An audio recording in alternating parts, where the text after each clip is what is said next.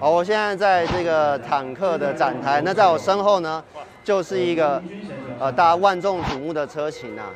坦克五百啊。那其实坦克五百啊，我觉得除了它的外形啊，最重要的就是它的动力总成啦，三点零 T V 六双涡轮增压发动机啊，加上呢四十八伏的轻混的系统啊，那它的最大的功率是三百五十四马力，最大扭矩是五百牛米啊，它匹配了一台九速的呃重置的 A T 变速箱啊，那大家可以看到这个外形啊，其实它的车头非常的有一种。我觉得反而是有一种像那种美式皮卡的感觉啊。那车侧呢，呃，又让我想到了呃比较偏向日式的这个越野车的设计。其实啊，我个人是觉得哦，这个坦克车系啊，三百出了之后啊，可能大家的这个反应实在是蛮大的，所以又紧接着推出这个五百啊。那从各项的呃车型外观看起来，我我觉得这辆车应该是一台。挺值得入手的，不管你是日用也好，还是你真的想要拿来玩也好，应该它都能胜任的啦。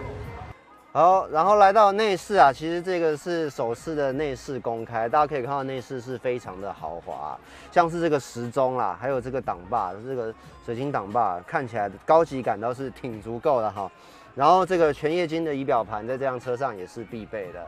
那大家可以仔细的看一下这个内饰啊，像这个木纹饰板啊，还有一些呃镀铬的一些饰条也是做的相当的到位啊。那这个椅子呢，我觉得坐起来啊，其实是比较偏向宽松的啦，包裹感不是很强，因为毕竟这不是一辆呃性能的轿车啊。那另外我刚上车的时候还注意到一点，就是你打开车门，它的踏板会伸出来啊，其实对我这种身高比较矮的人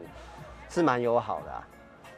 那来到第二排，其实第二排的空间当然是非常的宽敞啊，至少我这个身高呢，这膝部空间非常足够啊，头部的空间也是蛮够的，而且它的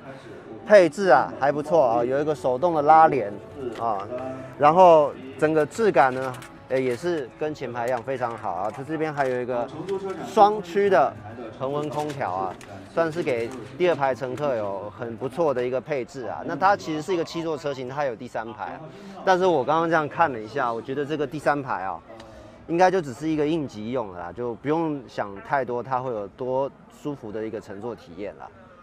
啊，其实这辆车呢，呃，从各项的一些参数来看，以及配置来看呢，都可以说是一辆啊硬派越野车。因为，呃，厂家还透露啊，这辆车是带有三把锁的。其实啊，这就宣称着你真的要开它去越野也是没有问题的。包括你看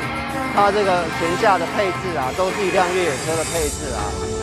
那大家一定很关心这辆车呢，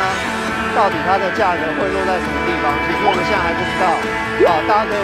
猜一猜它的价格大概是在什么区间了。好了，那我今天的节目呢就到这里告一段落了，大家后会有期啊。